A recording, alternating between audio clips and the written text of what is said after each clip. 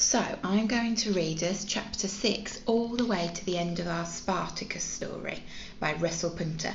Now this looks like a fiction storybook, um, but actually historians have lots of bits of evidence that suggests that these events happened in real life and then it's been made into a book for us to read. So the historians have used all their sources of information to work out whether this story did happen and whether it was true.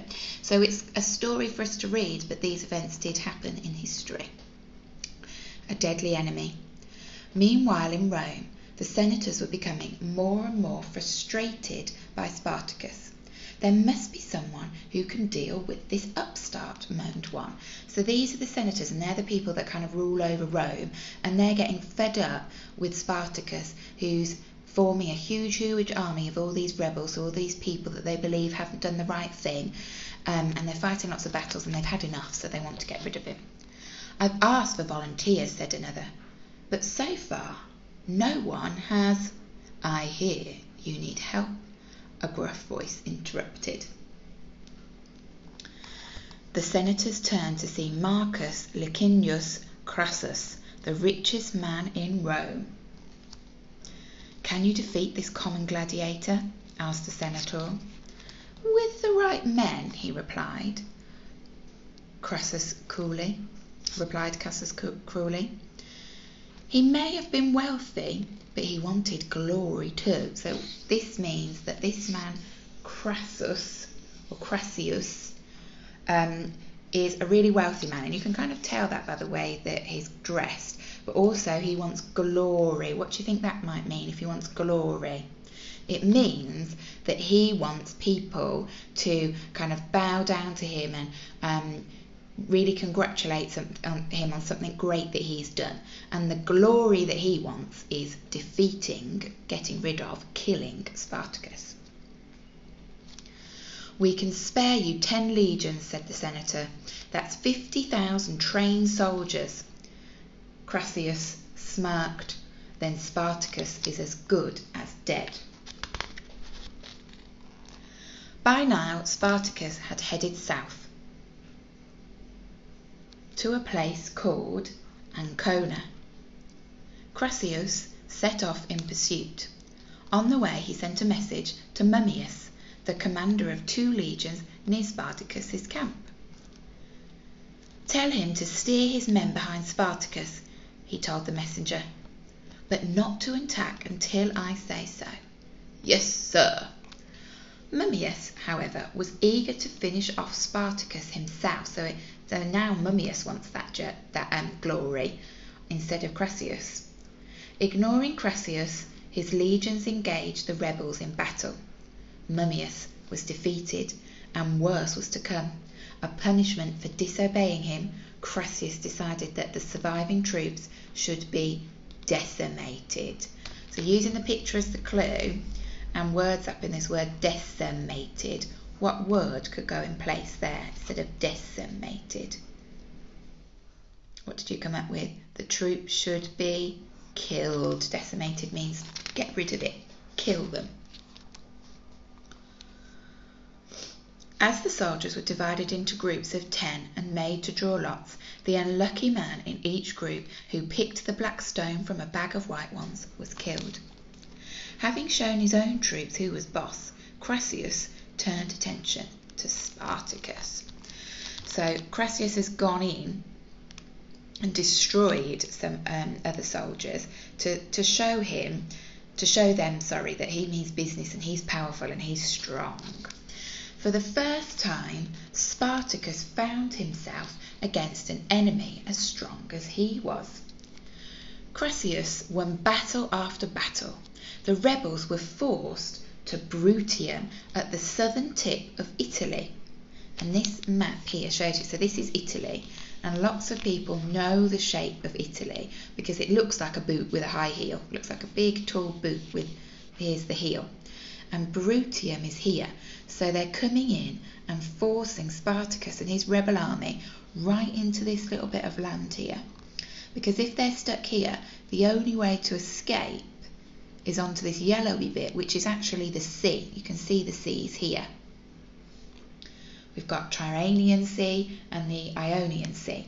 So if they get stuck there, it means that they're more likely to be able to destroy or decimate them. We must have reinforcements, decided a weary Spartacus, and I think I know where to find them. Chapter 7 Plotting with Pirates. Spartacus set, sat outside a rough dockside tavern. So, a dock is where you'd kind of tie up boats, and a tavern would be a little kind of restaurant or place where um, the Romans would have hung out together. The place was full of pirates who plundered Roman ships across the Mediterranean. We heard that word plundered when they plundered all the weapons at the start of the story. So, we have a deal then, said Spartacus, handing over a bag of coins to two tough looking pirates. You'll take 2,000 of us across to Sicily. Let's go back to this map. So, they know they're getting stuck here. They've spoken to some pirates who have boats and they want them to take them along this little bit of sea in the middle to get them over to Sicily. So they're escaping from Crassius and his army.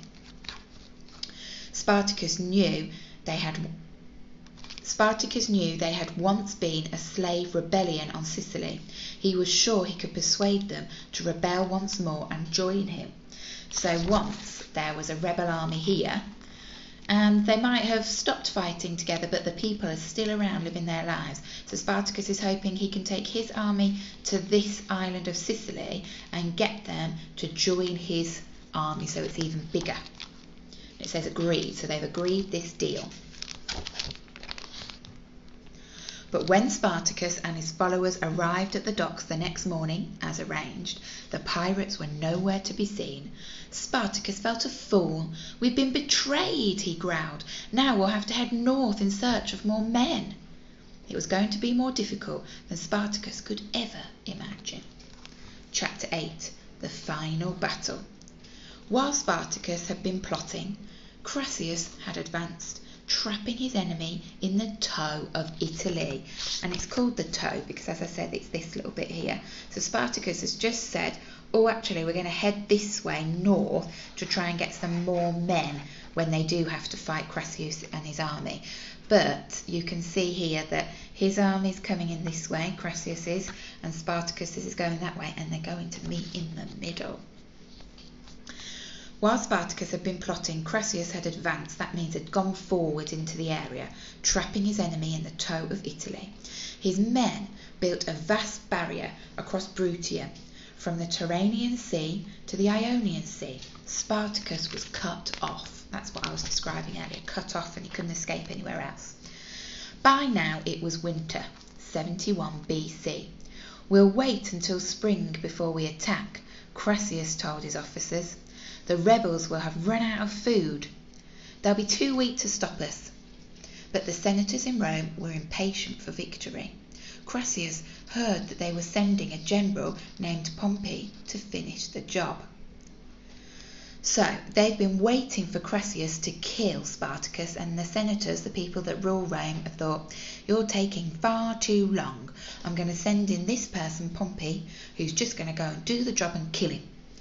Crassius didn't want anyone else stealing his glory, his limelight, his moment where everybody would be congratulating him. I'll have to attack now, he decided. Spartacus knew he had to act too. He took a third of the rebel army and managed to break through Crassius's barrier. You can see the barrier here. They've broken through it to try and get further north to get more troops, which means more people in their army. Crassius sent his legions south to fight the rebels that were left behind. It was an easy victory for the Romans. Spartacus calculated there were now less than 40,000 men left from his once mighty rebel army. He planned to lead his followers east to Brundisium to escape by the sea. So we can see Brundisium is here. He was trapped in the toe back here, but he's managed to break down the army, the barrier.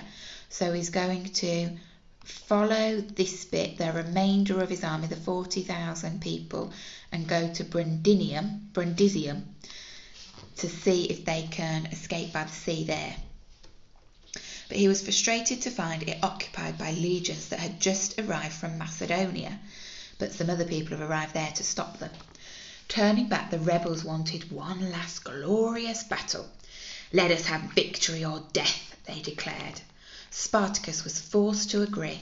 A few days later, the slaves came face to face with Cassius and his legion near the river Selanus, Selarus. Spartacus led from the front. The fighting was hard and bloody. Swords clashed, spears flew in all directions. The air was filled with cries of war and screams of death. The rebel slaves fought bravely, but it was their last taste of battle. I'm going to cover this bit up. If it's their last taste of battle, it means nothing to do with them eating a battle, even though it says taste. But it says it was their last taste of the battle. So, what do you think that could mean?